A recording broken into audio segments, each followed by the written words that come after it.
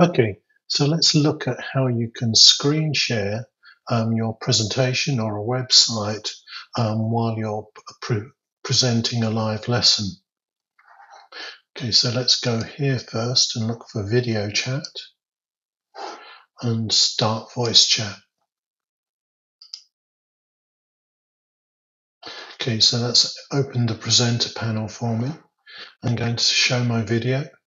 So here I am. I can select which video I'm in. I'm in this one. So I click on share.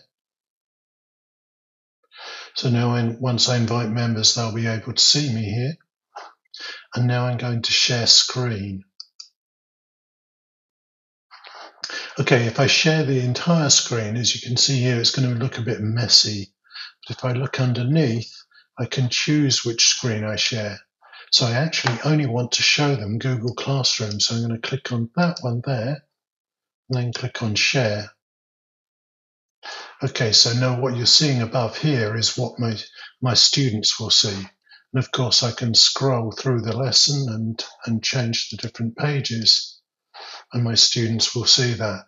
As you can see, I've got Telegram set up in one half of the screen, and on the other half of the screen, I've got my, my website or my presentation that I want to show.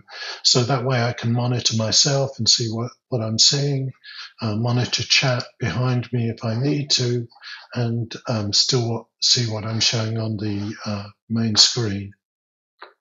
And then when I've finished, of course, I just hang up.